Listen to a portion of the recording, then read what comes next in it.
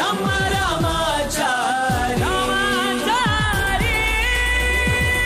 ಹೋಗ್ಲಿ ಬಿಡು.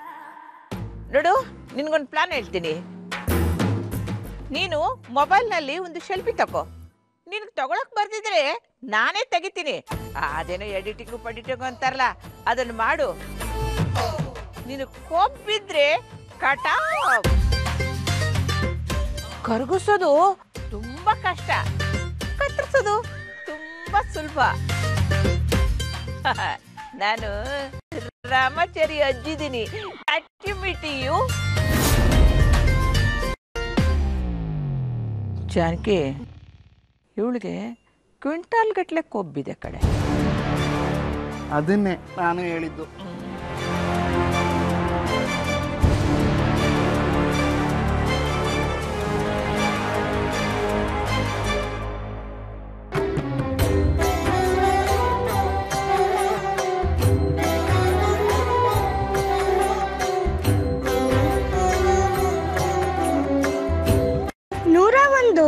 ಮುಗೀತಕ್ಕ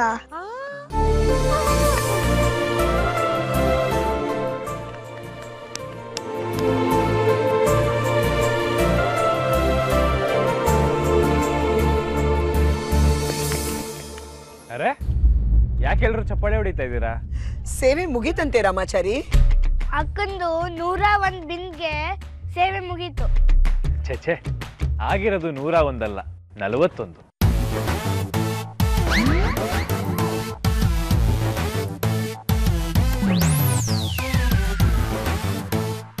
ರಾಮಾಚಾರಿ ನಿಂಗೆ ಹೆಂಗ ಗೊತ್ತಾಯ್ತು? ನೋಡಿ ಒಂದು ಸತಿ ಬಿಂದಿಗೆ ತರೋದಕ್ಕೆ ಮೂರು ನಿಮಿಷ ಬೇಕಾಗತ್ತೆ. ಹಾಗಾಗಿ ನೂರ ಒಂದು ಇಂಟು ಮೂರು ಮಾಡಿ. ಮುನ್ನೂರ್ ಮೂರು? ಹ್ಞೂ ಈಗ ಅದನ್ನ ಡಿವೈಡೆಡ್ ಬೈ ಅರವತ್ತು ಮಾಡಿ. ಐದು ಗಂಟೆ ಐದು ನಿಮಿಷ. ಅಲ್ವಾ? ಈಗ ಸೇವೆ ಶುರು ಮಾಡಿ ಬರೀ ಎರಡು ಗಂಟೆ ಐದು ನಿಮಿಷ ಆಗಿದೆ. ಹಾಗಾಗಿ ಬರೀ ನಲವತ್ತೊಂದು ಬಿಂದಿಗೆಗಳು. ಸಿಂಪಲ್ ಮ್ಯಾಥಮ್ಯಾಟಿಕ್ಸ್ ಅಪ್ಪನ ಆರೋಗ್ಯಕ್ಕೋಸ್ಕರ ಮಾಡ್ತಾ ಇರೋ ಸೇವೆ. ಅದ್ರಲ್ಲಿ ವಂಚನೆ ಇರಬಾರ್ದಮ್ಮ. ಚಚೆ ವಂಚನೆ ಅಲ್ಲಮ್ಮ.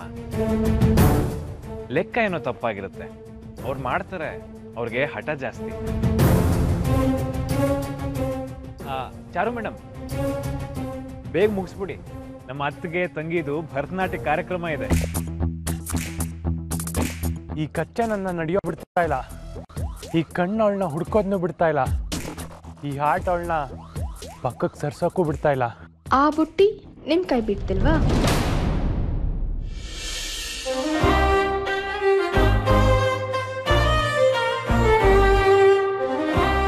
ದೇವಸ್ಥಾನಕ್ಕೆ ಬಂದಾಗ್ಲಿಂದ ಈ ಬುಟ್ಟಿ ಇಟ್ಕೊಂಡು ಸುತ್ತಾಡ್ತಿದ್ದೀರಾ?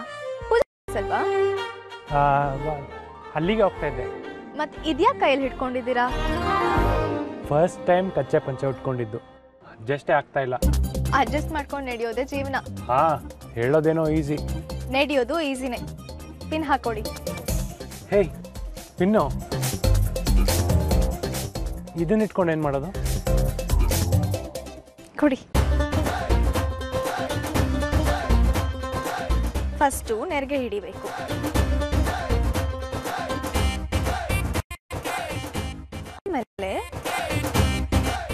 ಚುಚ್ಚು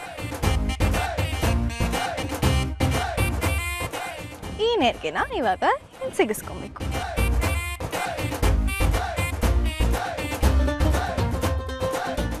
ದೇವ್ರನ್ನ ನೋಡೋ ಕಣ್ಣಿಗೆ ಗಮನ ಬೇರೆ ಕಡೆ ಹೋದ್ರೆ ಭಕ್ತಿ ಕಮ್ಮಿ ಆಗತ್ತೆ. ಅರ್ಥ ಆಯ್ತಾ?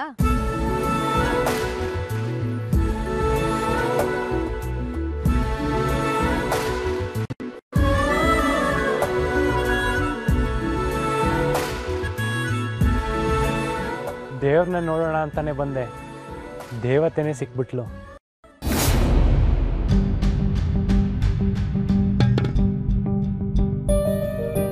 ಅಕ್ಕ ನೀನ್ ಎಷ್ಟು ಉಳ್ಕೊಂಡ್ರು ಕೆಲಸ ಮಾಡೋದು ಮಾಡ್ಲೇಬೇಕು. ಡ್ಯಾಡ್ ಬೇರೆ ಸೆಂಟಿಮೆಂಟ್ ಜೋಡಿಸಿದ್ದಾರೆ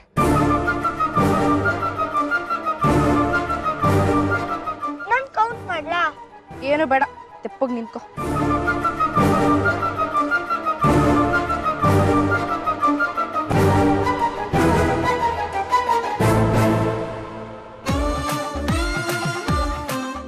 ಚಾರು ಇಲ್ಲೇನ್ ಮಾಡ್ತಾ ಇದ್ದಾಳೆ?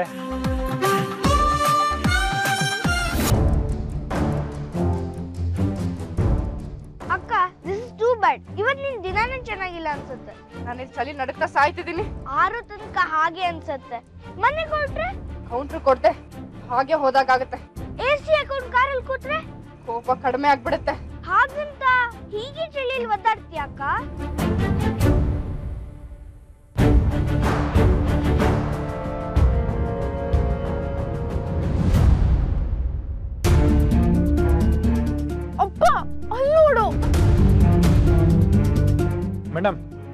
ಟವಲ್ ತಗೊಳ್ಳಿ. ತಲೆ ಮೈಯೆಲ್ಲ ಕರೆಕ್ಟಾಗಿ ಒರೆಸ್ಕೊಳ್ಳಿ. ಇಲ್ಲ, ನಾಳೆ ಆಫೀಸಲ್ಲಿ ಶೀತ ಆದರೆ ಸೀನ್ ಇರಬೇಕಾಗುತ್ತೆ.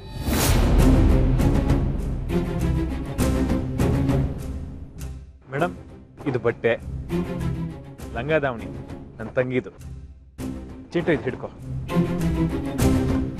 ಮೇಡಮ್ ಅಲ್ಲಿ ಚೇಂಜಿಂಗ್ ರೂಮ್ಗಳಿದೆ ಬೇಗ ಬಟ್ಟೆ ಬದಲಾಯಿಸ್ಕೊಂಡು ಬಂದ್ಬಿಡಿ ಭರತನಾಟ್ಯ ಕಾರ್ಯಕ್ರಮ ಇನ್ನೇನು ಶುರು ಆಗುತ್ತೆ. ನಾನು ಹೋಗಿರ್ತೀನಿ. ನೋಡ್ದ್ಯಪ್ಪ ನೋಡು ಅವರಿಬ್ರು ಮಧ್ಯೆ ಏನೋ ಇದೆ. ಇವಾಗ್ಲಾದ್ರೂ ಗೊತ್ತಾಯ್ತಾ?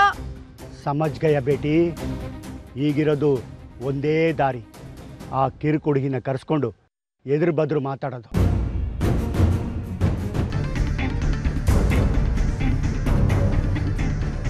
ಅಕ್ಕೆ ಅಲ್ಲಿ ನೋಡಿ ಆ ಚಾರು ನನ್ ಬಟ್ಟೆ ಹಾಕೊಂಡು ಬಂದಿದ್ದಾಳೆ.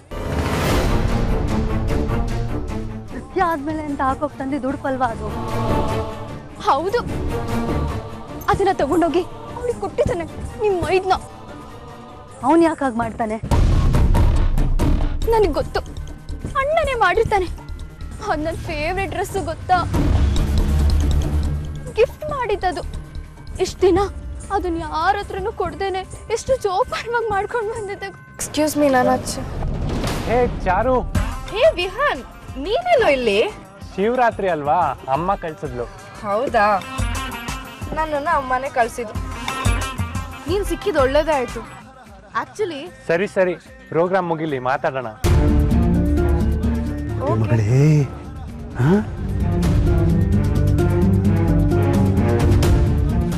ಚಾರು ಯಾವುದೋ ಹುಡುಗನ ಜೊತೆ ಮಾತಾಡ್ತಾ ಇದ್ದಾಳೆ. ಹಾಗಂತ ಬಿಟ್ಬಿಡ್ಬೇಕಾ? ಅವನು ಯಾರು ಅಂತ ವಿಚಾರಿಸ್ಬೇಕು.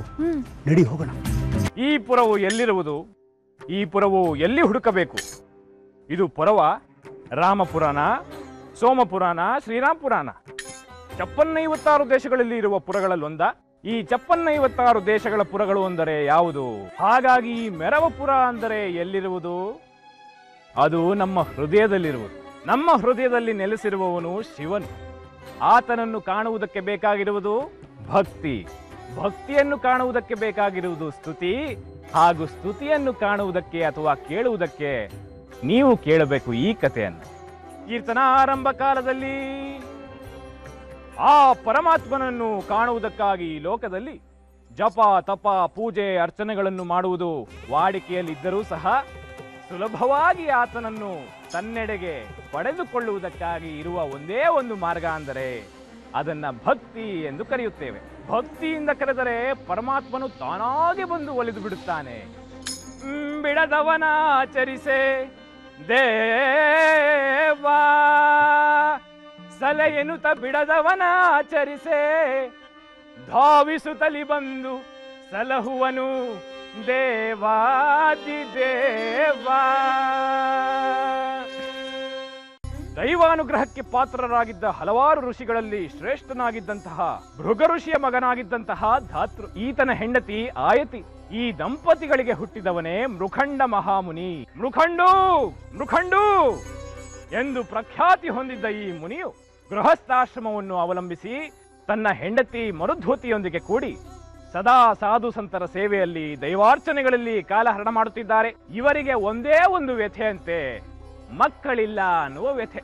ಈ ಗಂಡ, ಹೆಂಡತಿ, ದಂಪತಿಗಳಿಬ್ಬರು ತುಂಬಾ ವ್ಯಥೆ ಪಟ್ಟಿದ್ದಾರೆ. ಬಂದವರೆಲ್ಲ ಕೇಳೋದೇನಪ್ಪ ಅಂದ್ರೆ ನಿಮ್ಮ ಮನೆಯಲ್ಲೆಲ್ಲ ಆರೋಗ್ಯವಾಗಿದ್ದಾರಾ?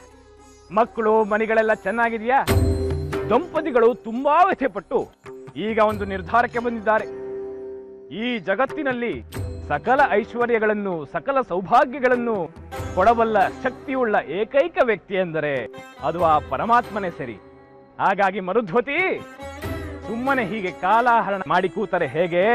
ಬಾ, ಆ ಪರಮಾತ್ಮನನ್ನು ಸ್ತುತಿಸಿ, ನಮ್ಮ ಇಚ್ಛಾರ್ಥವನ್ನು ಬೇಡಿಕೊಳ್ಳೋಣ ಎಂದು ಗೋಮತಿ ನದಿಯ ತೀರಕ್ಕೆ ಬಂದಿದ್ದಾರೆ.